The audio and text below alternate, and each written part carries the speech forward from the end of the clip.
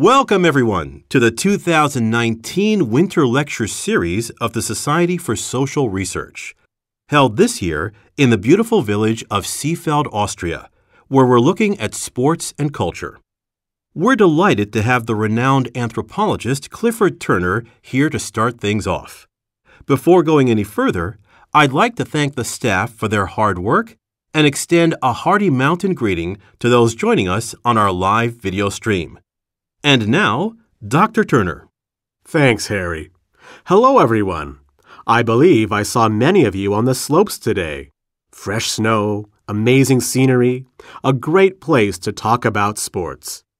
As you know, a lot of research in our field looks at ancient sports in contexts where they're closely tied either to religious ceremonies, say dealing with the spirit world, pleasing the gods, or to practicing core tasks of survival, like hunting and combat.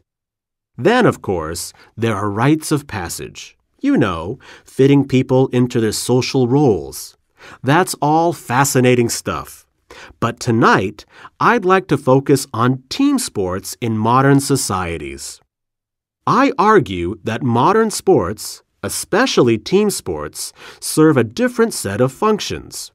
They're much more about representation, projecting a model of our society, either as we wish it were or as we think it really is.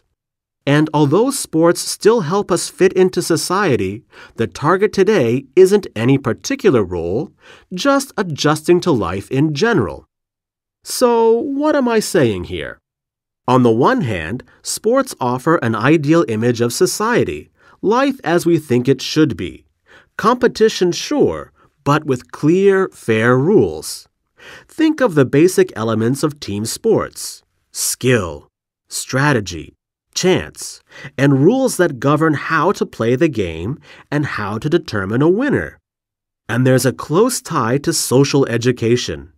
Today, school systems promote these sports as a way to teach teamwork, fair play, discipline, respect for authority, respect for opponents. Their main objective here is to turn students into responsible members of society. So, that's sports reflecting how we think things ought to be.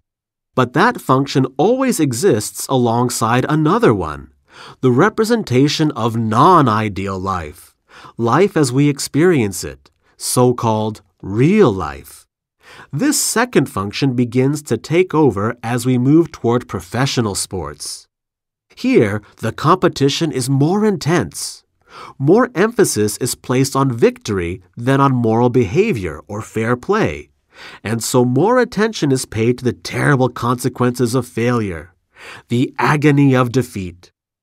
You've heard what people say if you're not cheating, you're not trying. Just win, baby. But here's the interesting thing it's a paradox. That language, those sayings hide and even try to deny half the purpose of the ritual. In fact, the experience we fear, defeat, is as important as the victory we desire. Sports, in this sense, is preparing us to deal with real, real life. Bad things happen. Things don't always break our way and we often lose. As we say, that's life.